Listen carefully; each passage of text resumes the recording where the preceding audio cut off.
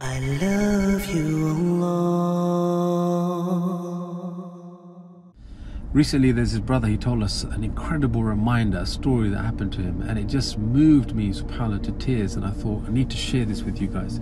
So, basically, what happened is that there's his brother, he went to the masjid on the 25th of December, Christmas Day, to spend some time just by himself, read some Quran, made dua, and now he's in like a really good place. And he leaves the masjid, and as soon as he steps outside, he sees a poor guy waiting for him.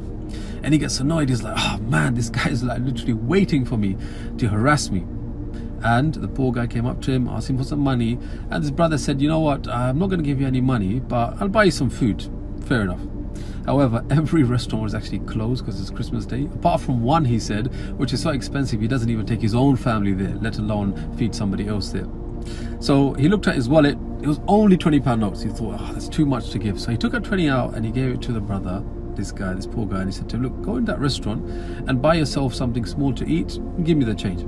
So anyway, what happened is that now this poor guy goes inside the restaurant and he doesn't come back out again. And the brother's getting really frustrated. It's like, first he took my money, now he's wasting my time as well. Because I went inside the restaurant, stormed in, like fully intending to have an argument. And I see that poor guy sitting on the table with a whole spread of food in front of him, all these dishes, and he's tucking in. And I got quite mad and I said to him, Look, you told me you're going to meet me outside with my money, or the change at least. What are you doing here? He just lifted up his hand and said, Here's your 20 pound, brother. The guy behind the counter is an owner and he saw that I'm poor and he said, Whatever you want, take it for free. So here's your 20 pound back. Now the brother, he got happy. He thought, Oh well, I've got my 20 pound back. It's like I gave sadaqah and uh, got it back straight away. He comes home to his wife says, Look, just like the Prophet said, uh, sadaqah doesn't decrease your wealth. I gave this 20, this is what happened and I got it back straight away. Isn't that amazing? His wife said, uh, Not really, that's not how it went down. See, what really happened is that Allah gave you an opportunity to give sadaqah and you frowned at that opportunity. So Allah took that opportunity and gave it to the other person, the owner of the restaurant.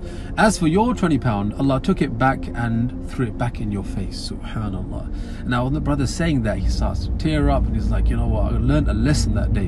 And the lesson was, if ever Allah gives you a chance to do any opportunity of good, even if it's small like this, never turn it down. Always do it willingly and thankfully. May Allah subhanahu wa ta'ala give us tawfiq.